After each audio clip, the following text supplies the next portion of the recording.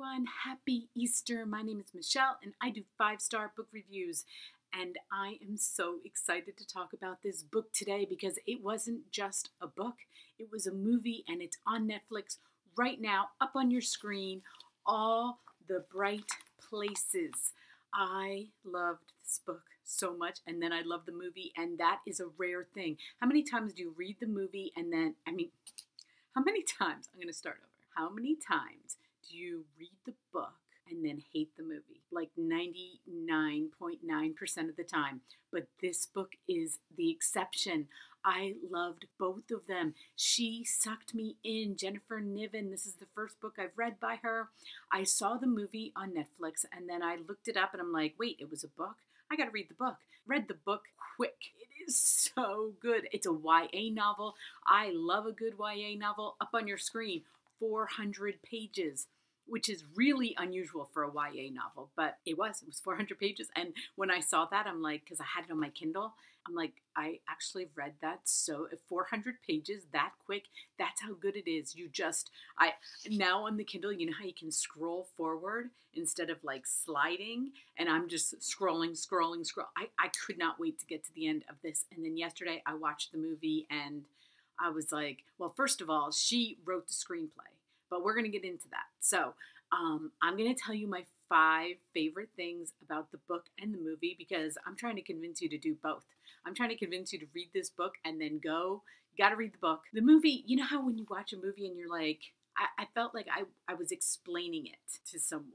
Like I, I like, cause there were pieces missing. So I don't know if I never read the book, if I would have understood some things, but that's that's like I still I'm telling people who won't read the book just go watch the movie because it is an amazing movie too. But here we go because this is going to be long, too long, and I don't want it to be too long. So, number 1, it's a YA novel. There are not a lot of great YA novels right now.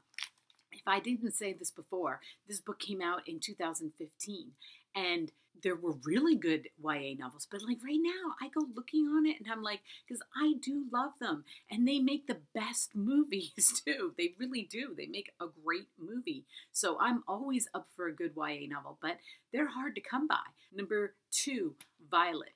This is, story is told in two points of views, and she's one of them. it's the girl and the boy.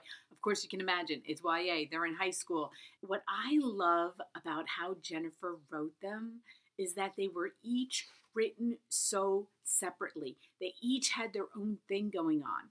And a lot of times when you're reading from different points of view, they kind of cross over and I don't know, eh, eh, you know, tell me what you think. That's how I always think is that they cross over and it gets kind of blurred as to who's talking. But these two points of views had amazing. It was her and it was him. Violet's point of view and what she was going through and this is not a giveaway. I mean, it's in the little blurb. Her she gets in a car accident, her sister dies. She was the driver. So that's heavy for a senior in high school. I mean, I can't even imagine. Anyway, so we take it from her point of view and what she's going through with regard to dealing with going back to school and trying to graduate and things that we can't even imagine like happening after a horrific accident. So, which brings me to number three, Finch. So, in walks Finch, okay, this crazy guy.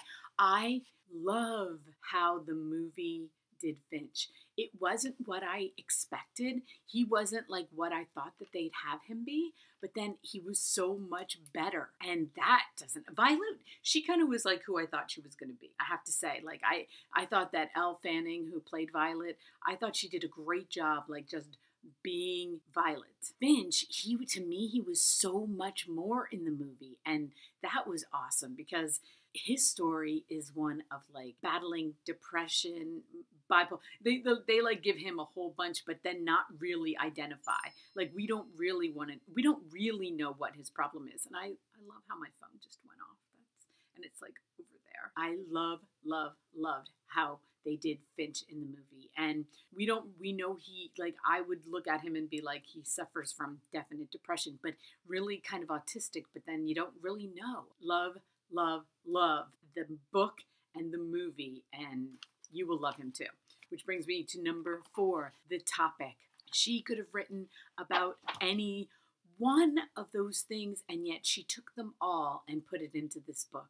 Having raised teenagers and stuff I went through as a teenager, I thought she handled it really well. And I saw a lot of criticisms, which I don't agree with because I think this is what's going on. I don't think that it's like, oh, what a heavy topic. I think it's stuff that our teenagers face. And we had kids in high school that committed suicide. I think we had two or three of them.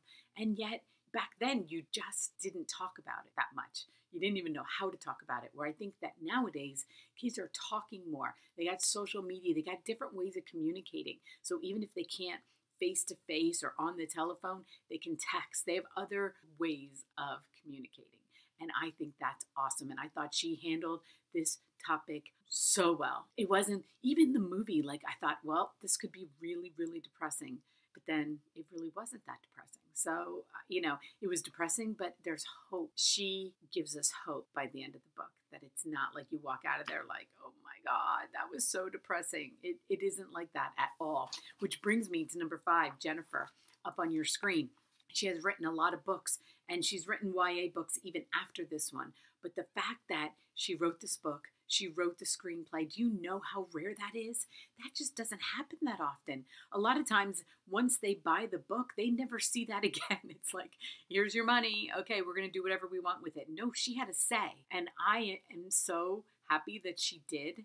And I don't know her, but Jennifer, that is awesome. I am so happy that you had a say, which is why I believe this movie turned out so well because she didn't just hand it off to somebody. It was her vision. She knew this story and then she got to tell it. That is like the best thing for a writer. The movie came out in February, if I didn't already say that but it's like trending really high, especially, you know, we're inside. We're watching every Netflix video we can.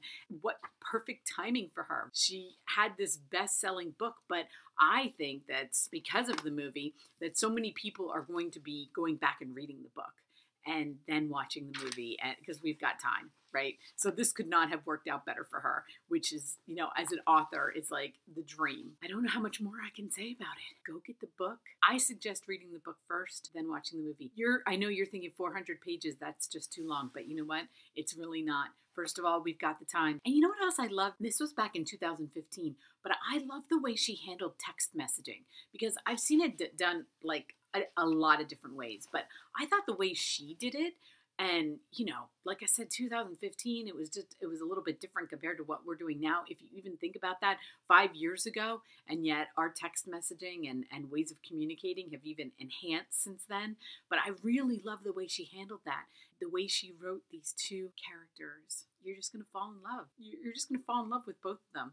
And I can like tear up thinking about it. Thinking, but now that I've got faces to them because of the movie, I could just like tear up. And you know, so many quotables. I didn't even get into that because this video would be like forever.